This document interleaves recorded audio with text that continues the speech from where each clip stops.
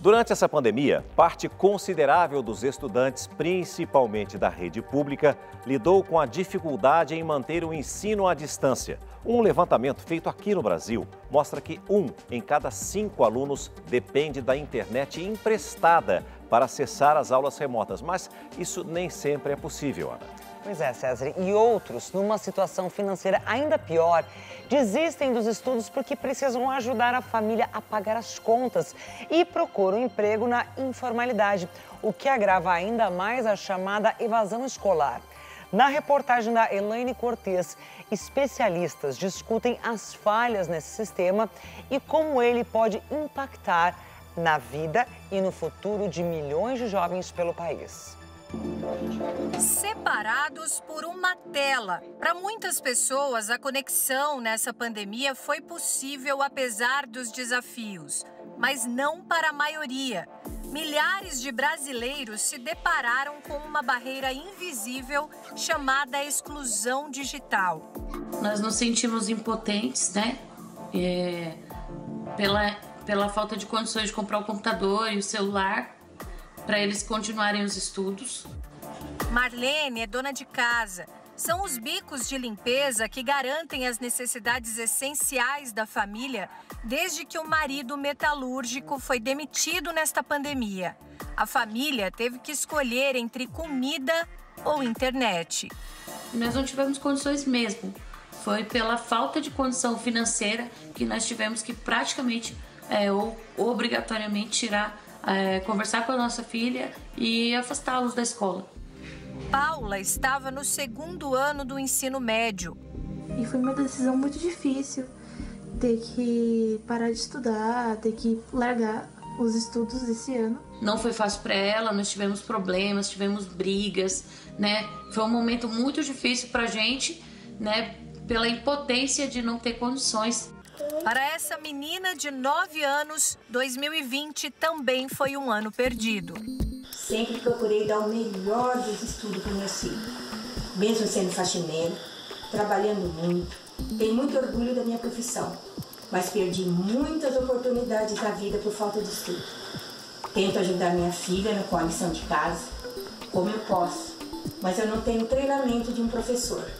E por essa pandemia, tudo que eu trabalhei até aqui nos estudos dela ficou parado. A dificuldade vai muito além da falta de conexão. Eu nunca tive condição nem de fazer um, uma ficha de firma. Então, para mim, é praticamente impossível. Aulas de português, matemática, eu não consigo ajudar. O que eu pude fazer, fiz. Adesivei o guarda-roupa, ensino a fazer continhas de mais e menos, emprestar, dividir mas só até aí. Muitos pais e muitos alunos, infelizmente, já deram esse ano por perdido. Por mais que os pais se esforcem para se dividir entre auxiliar os seus filhos nos estudos e voltar ao trabalho normal, o ensino online ele acaba sendo entediante e acaba desestimulando. Não dá para acusar o pai que eh, diz que vai retirar o seu filho na escola esse ano para colocá-lo o ano que vem de volta, de abandono intelectual, porque nós estamos num período completamente atípico e esse crime de abandono intelectual ele só vai acontecer quando o pai deliberadamente quiser tirar o seu filho da escola ou não fizer questão de colocar o seu filho na escola. Eles não foram tirados da escola a escola foi tirada deles. Uma realidade que levou muitos professores a um estado de exaustão mental, adoecimento no trabalho, estresse, ansiedade e depressão. Foi quando a direção percebeu a necessidade de nós educadores termos um momento para falar das nossas aflições. Os professores perceberam a ausência de muitos alunos começou a surgir as minhas angústias, o medo de não conseguir atingir o aluno da maneira que ele mereça, o medo da evasão escolar. Tem uma questão nacional de acesso à tecnologia que todos nós sabemos que infelizmente não abrange a todos. Os profissionais da educação, de um dia para o outro, se viram privados da sua rotina, do seu contato com os estudantes, é, do seu fazer tão habitual e tão arraigado né, em todo o mundo da educação. Isso fez com que palavras como depressão, ansiedade, tristeza, solidão se tornassem muito frequentes nos diálogos dos professores.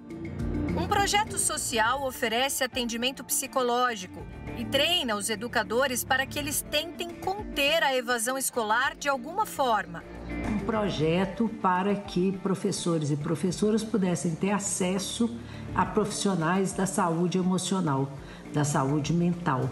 Uma pesquisa recente feita pela ABED, a Associação Brasileira de Educação à Distância, revelou os impactos da pandemia na educação infantil e nos ensinos fundamental e médio.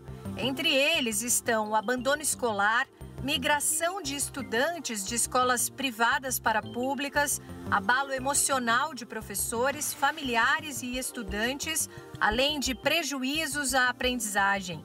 Não é verdade que o ano letivo se recupera. Nós temos questões importantes que urgem para a reabertura das escolas em 2020. Nós estamos perdendo jovens diariamente nas escolas para mundo do trabalho, porque estão precisando ajudar e aí não tem mais tempo de voltar e provavelmente não voltarão sem uma busca ativa grande das escolas. Nós temos desmotivação com o ano letivo muito presente jovens que não estão mais querendo, se desmotivaram com a própria escolarização, principalmente aqueles que precisam mais. Quase 70% dos estudantes alegam dificuldade de estabelecer e organizar a rotina diária. Mais de 20% dependem da internet emprestada. E mais de 70% consideram que a qualidade das aulas é muito inferior se comparada às aulas presenciais. Mais da metade dos professores entrevistados relatam abatimento, tristeza e desânimo. O Conselho Nacional de Educação aprovou juntar os anos letivos de 2020 e de 2021 com o ensino remoto até o fim do ano que vem. O Ministério da Educação ainda precisa aprovar essa opção que valeria para toda a rede do país, da educação básica ao ensino superior nas escolas públicas, particulares e comunitárias. A proposta não seria obrigatória e inclui também um ano suplementar, ou seja, um ano a mais para os estudantes do terceiro ano do ensino médio, além de flexibilizar a aprovação escolar com outros critérios de avaliação. O texto do Conselho Nacional de Educação pede uma atenção a mais aos estudantes do quinto ao nono ano do ensino fundamental, já que essa etapa registra alto índice de reprovação e de abandono escolar. E segundo o Ministério da Educação, problemas de acesso à internet devem ser resolvidos pelos estados e municípios. Não foi um sintoma do coronavírus, mas ficou latente no país desde março, uma das lições mais difíceis desta pandemia.